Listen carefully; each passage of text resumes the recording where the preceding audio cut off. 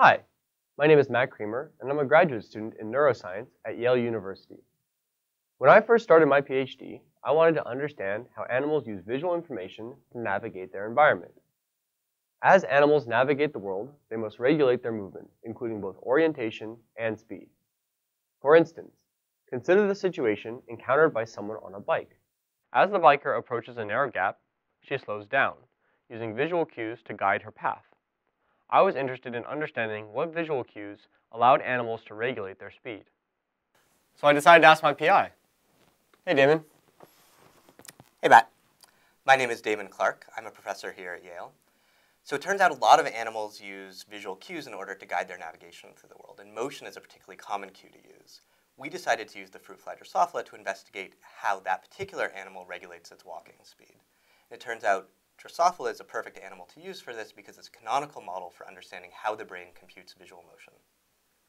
To give you a sense of why motion detection is so useful, take a look up here, where I'll put the feed from my head-mounted camera. Most research in fruit flies has focused on how they control their orientation. When a fly observes full field rotational motion, it turns in the direction of the motion it perceives. This acts as a core stabilizing mechanism. If something in your environment turns you off course, you can turn in the direction of the motion you see, and that will regain your original trajectory. Course stabilization is very important because natural scenes can be very complex. In addition to regulating orientation, flies must control how fast they move. I decided to focus my study on how flies regulate their walking speed. One convenient aspect of working in flies is that they're very easy to manipulate. In addition to measuring behavior, we can manipulate the brain using powerful genetic tools.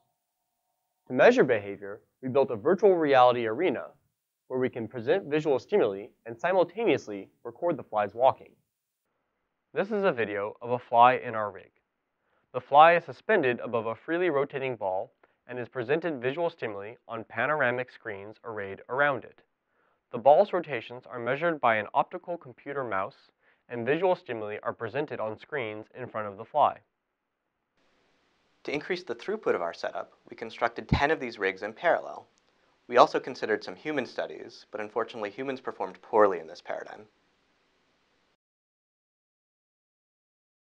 Once we had built the virtual reality rig, we could ask the question, do flies regulate their walking speed using visual information? We placed flies in a virtual tunnel which contained an hourglass-shaped narrowing in it. We measured their speed as they walked through the virtual tunnel. This plot shows the fly's walking speed as a function of position in the tunnel, with a diagram of the tunnel at the top. Sure enough, when they reached the narrowing, they slowed down. But how does the fly know that the virtual walls are nearby? Well, as you walk, objects that are closer to you move faster across your retina than objects that are far away. Think about when you're riding your bike down the street. The nearby objects move quite rapidly, but the buildings in the distance hardly shift at all. This makes motion detection a good candidate for regulating walking speed. The hourglass hallway stimulus showed that flies use visual information to regulate their walking speed. To further dissect this behavior, we showed the flies a simpler stimulus, a drifting grating moving from front to back on both sides of the fly.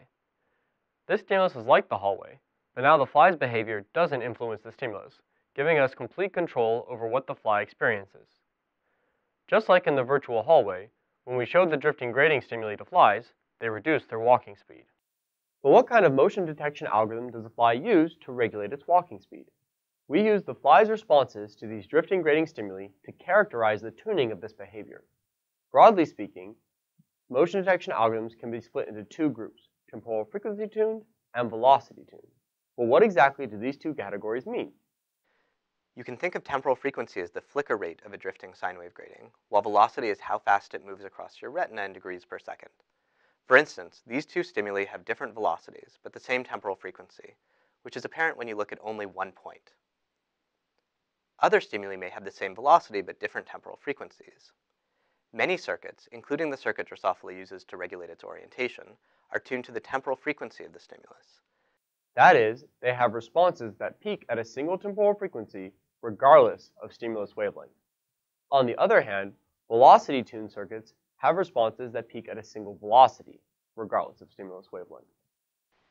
By showing flies many stimuli with different velocities and wavelengths, we show that flies regulate their walking speed with a circuit that is velocity tuned. This is distinct from previously studied motion detection circuits in the fly, which are temporal frequency tuned. Furthermore, this isn't some quirk of the fruit fly Drosophila. In mammals, early cortical areas tend to be tuned to the temporal frequency of moving stimuli, while deeper cortical areas tend to be tuned to the velocity of moving stimuli. By finding these same two computations in Drosophila, we can use the powerful genetic tools in that organism to dissect these circuits and computations. What we hope is that these dissections in Drosophila will inform us about the computations and circuits in mammalian cortex. In our paper, we identify several neurons that are involved in the walking response and propose a computational model that can explain our results. We hope you'll check it out.